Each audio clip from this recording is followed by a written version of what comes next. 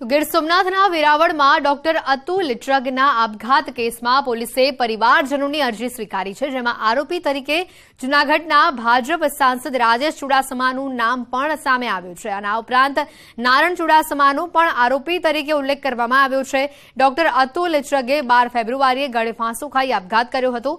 Suicide નોટમાં બે નામનો ઉલ્લેખ કરવામાં આવ્યો હતો. પોલીસે આ અરજી સ્વીકારી લીધી છે અને હવે આ મામલે તપાસ કરવામાં આવશે. મહત્વના સમાચાર જે રીતના સામે આવી રહ્યા છે, આ મુદ્દે વધુ વિગત મેળવીશું. દિનેશ સોલંકી, સંવાદદાતા ફોનલાઈન ઉપર જોડાઈ ચુક્યા છે. દિનેશ, જે રીતના અહીંયા આ સમગ્ર બાબત જે સામે આવી છે, બે આરોપીઓના નામ હવે જે સામે આવ્યા છે, કઈ રીતે આગળની તપાસ હાથ ધરવામાં આવશે?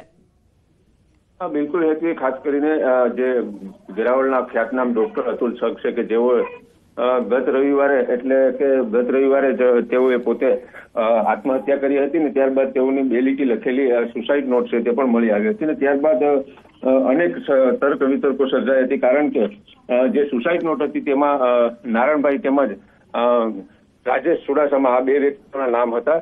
પરંતુ ક્યાંય ને ક્યાંય કહી શકાય કે આ બંને વ્યક્તિઓ કોણ છે તેમને લઈને પોલીસે પોતાના ચક્રો છે તે ગતિમાન કર્યા હતા અને તેમના પરિવાર દ્વારા પણ હા- હાલ સુધી કોઈ પણ પ્રકારની ફરિયાદ આપવામાં આવી નથી પરંતુ હાલ જ્યારે એમના પરિવારજનો છે એટલે કે ડોક્ટર છગના જે અ, પુત્ર છે તેમના દ્વારા ફરિયાદ આપવામાં આવી છે અને આ ફરિયાદની અંદર જુનાગઢના જે સાંસદ રાજેશ ચુડાસમા છે અને નારાયણભાઈ આ બંને વ્યક્તિનો ઉલ્લેખ કરવામાં આવ્યો છે ત્યારે હવે જોઈ રહ્યું કે કઈ પ્રકારે પોલીસ છે તે તેમ- તેમની તપાસનો ધમધમાટ છે તે આગળ વધારે છે હેતી.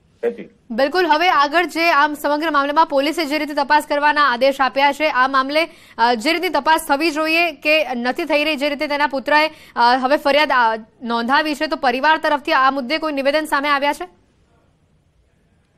જી, બિલકુલ ડોક્ટર અતુલ સગના પરિવાર જોડે વાત કરવા માટે પ્રયત્ન કર્યા હતા, પરંતુ તેમના પરિવાર જોડે કોઈ પણ પ્રકારની વાતચીત થઈ નથી. બીજી તરફ, પોલીસમાંથી પ્રાપ્ત માહિતી મુજબ, હજુ સુધી એફઆઈઆર નોંધાઈ નથી, પરંતુ જે પ્રમાણે ડોક્ટર અતુલ સગના પુત્રએ ફરિયાદ આપી છે, તેમના આધારે આગામી સમયમાં પોલીસ છે તે તપાસ હાથ ધરી અને આ જે બંને વ્યક્તિઓના નામ સામે આવ્યા છે તેમના વિરુદ્ધ કાર્યવાહી કરશે.